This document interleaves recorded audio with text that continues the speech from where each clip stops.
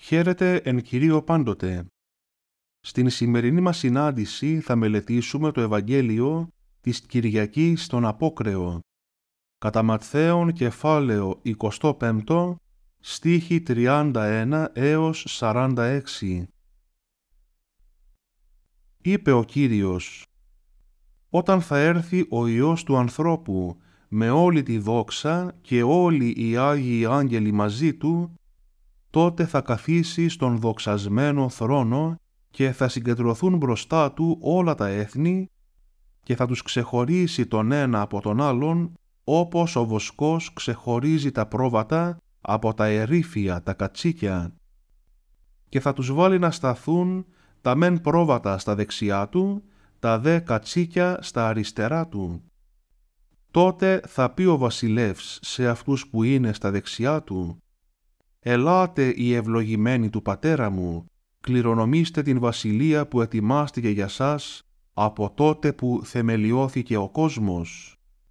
Γιατί πείνασα και μου δώσατε να φάω, δίψασα και με ξεδιψάσατε, ήμουν ξένος και με περιμαζέψατε, γυμνός και με ντύσατε, αρρώστησα και με επισκεφθήκατε, ήμουν στη φυλακή και ήρθατε σε μένα και με είδατε τότε θα του απαντήσουν οι δίκαιοι λέγοντας «Κύριε, πότε σε είδαμε πεινασμένο και σε θρέψαμε ή διψασμένο και σε ξεδιψάσαμε και πότε σε είδαμε ξένο και σε μαζέψαμε ή γυμνό και σε ντύσαμε και πότε σε είδαμε άρρωστο ή φυλακισμένο και ήρθαμε σε σένα» και ο βασιλιάς θα τους απαντήσει και θα τους πει «Αλήθεια σας λέω, Ό,τι κάνατε σε έναν από τους πιο μικρούς αδελφούς μου, σε εμένα το κάνατε. Τότε θα πει και σε αυτούς που θα είναι στα αριστερά του «Φύγετε μακριά μου οι καταραμένοι στην αιώνια φωτιά που είναι ετοιμασμένη για το διάβολο και τους αγγέλους του, δηλαδή τους δαίμονες. Γιατί πείνασα και δεν μου δώσατε να φάω δίψασα και δεν με ξεδιψάσατε.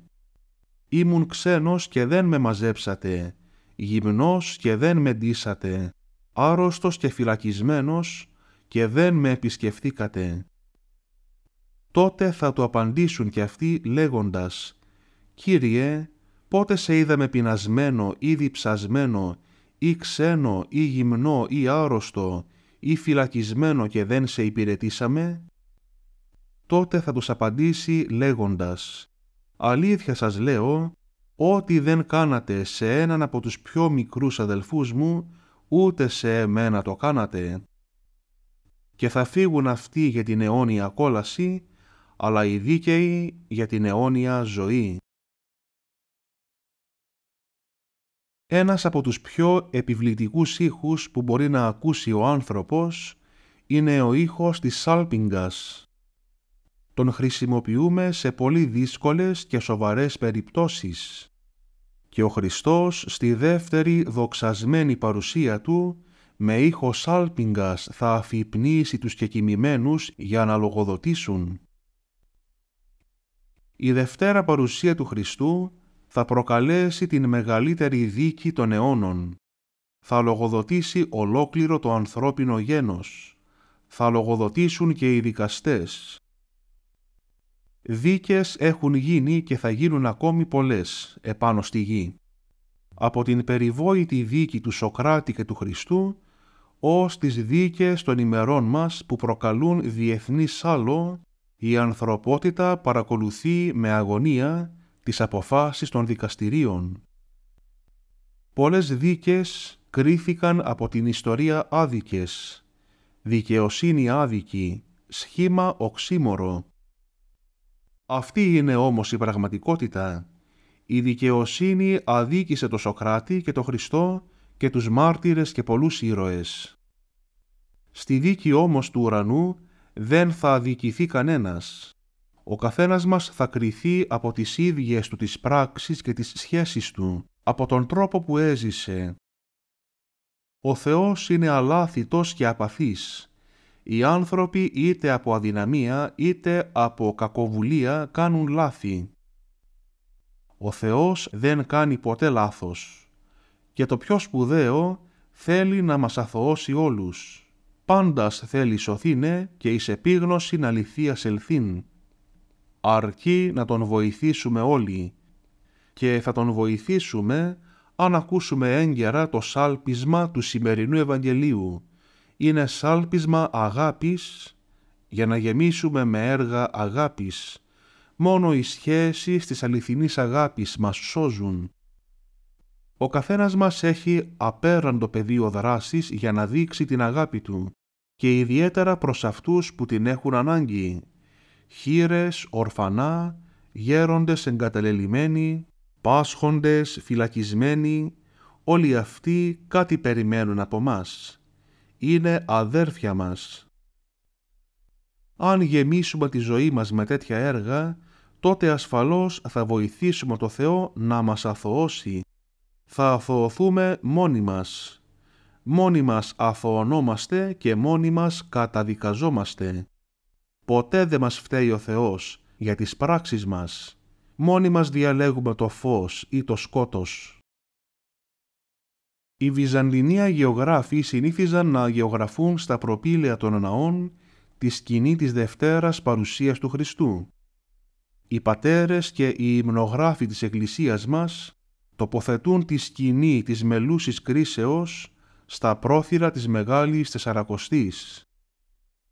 Είναι η ωραιότερη εισαγωγή και η συγκλονιστικότερη προειδοποίηση για την κρίση που περιμένει όλους μας στο παγκόσμιο δικαστήριο κατά τη Δευτέρα παρουσία του Κυρίου μας. Το δικαστήριο αυτό θα είναι αλάθητο διότι κριτής θα είναι ο πάνσοφος Θεός και θα ανοίξει μόλις θα κλείσει η ιστορία του κόσμου. Θα γίνει όχι και κλεισμένων των θυρών, θα είναι με ανοιχτές πόρτες για να το παρακολουθεί το σύμπαν. Θα έχει τρεις βασικές φάσεις. Στην πρώτη φάση θα αναμορφωθούν η γη και ο ουρανός για να γίνουν καινούργοι και άφθαρτοι. Μόνο άφθαρτοι θα χρειάζονται από εκεί και πέρα. Όλα θα είναι αιώνια. Στην δεύτερη φάση θα ηχήσει πρωτότυπα και δυνατά σάλπιγγα αγγελική, που με το σάλπισμά της θα αναστηθούν όλοι οι κεκοιμημένοι. Έτσι λοιπόν ζώντες και κεκοιμημένοι, όλοι μεταμορφωμένοι και με άφθαρτα σώματα, θα ανέβουμε προς τον ουρανό, για να προϋπαντήσουμε το Χριστό, που θα έρχεται ανάμεσα σε αγγέλους και σε νεφέλες. Την πρώτη φορά ο Χριστός ήρθε ταπεινωμένος, τη δεύτερη θα έρθει δοξασμένος, βασιλεύς και δίκαιος κριτής και αμέσως θα ακολουθήσει η τρίτη φάση. Ο Χριστός θα κρίνει ζώντες και νεκρούς. Την πρώτη φορά που ήρθε στη γη έκριναν οι άνθρωποι το Χριστό. Τη δεύτερη φορά θα κρίνει ο Χριστός τους ανθρώπους. Οι άνθρωποι έκριναν τον Θεό με επιπολαιότητα ο Θεός θα κρίνει με δικαιοσύνη, με αγάπη και αγαθότητα. Και ποιο θα είναι το σύνταγμα και τα κριτήρια με τα οποία θα κριθούμε στην αιωνιότητα. Μας το είπε σήμερα το Ευαγγέλιο. Η αγάπη. Αυτό είναι το σύνταγμα που ψήφισαν ο Χριστός και η Εκκλησία Του με το αίμα τους.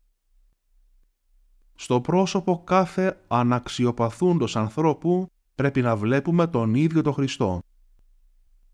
Ο Χριστός έδωσε την εικόνα του σε κάθε άνθρωπο. Όλοι οι άνθρωποι είμαστε αδέρφια. Όλοι είμαστε το ίδιο. Κάθε διάκριση με κριτήρια συμβατικά είναι έγκλημα.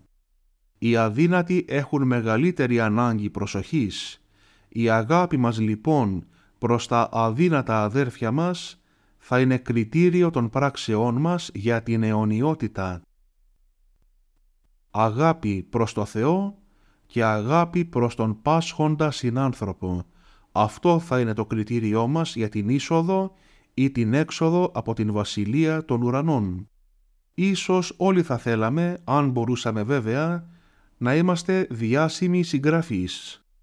Θα θέλαμε το όνομά μας να ξεπερνούσε τη γενέτειρά μας και να έφτανε στα πέρατα της οικουμένης. Κι όμως, όλοι συγγράφουμε το πιο συγκλονιστικό σύγγραμμα των αιώνων που θα διαβαστεί από αγγέλους και ανθρώπους. Συγγράφεται από την καθημερινή μας ζωή.